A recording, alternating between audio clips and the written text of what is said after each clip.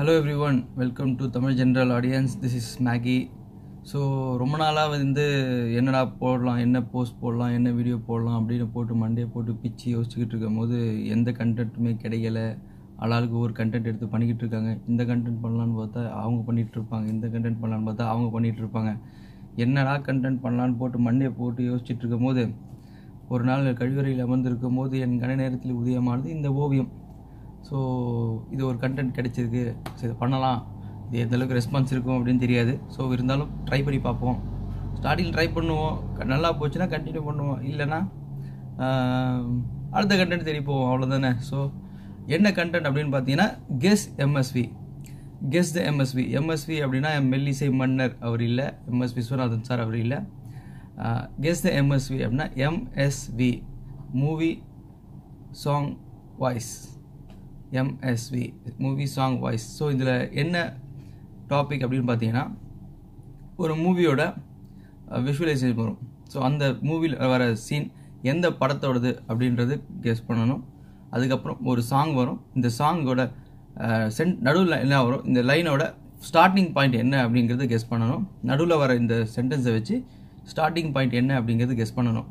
ரெண்டாவது voice movie actor voice as usual Tamil voice actors தான். Maybe ஒன்று ரெண்டு கலந்து வரும். இந்த ஸ்டார்டிங்கிறதுனால எல்லாமே கொஞ்சம் ஈஸியாக கொடுக்கலாம் அப்படின்னு ஒரு ஐடியா ஸோ இந்த வாய்ஸு ப்ளே ஆகும் ப்ளே ஆகும்போது அதில் என்ன யாரோட வாய்ஸு அது யாரோட வாய்ஸ் அப்படின்னு கண்டுபிடிச்சாலே போதும். அது இப்போ ஸ்டார்டிங்கில் கொஞ்சம் போக போக கொஞ்சம் டஃப் ஆகிடுவோம் நம்ம. ஸோ கண்டென்ட்குள்ளே போகலாமா வாங்க.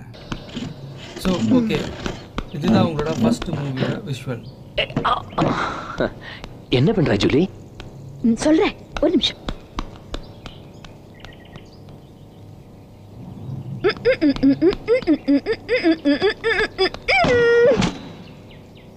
என்ன கண்டுபிடிச்சிங்களா?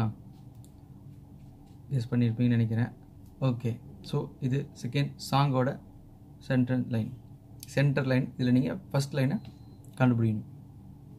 அவன் மனமோ அது எங்கே சென்றாலும் இவள் மனமோ அவன் பின்னாலே போகும் என்றென்றும் அவள் எண்ணங்கள் நலமா? கண்டுபிடிச்சிருப்பீங்கன்னு நினைக்கிறேன்.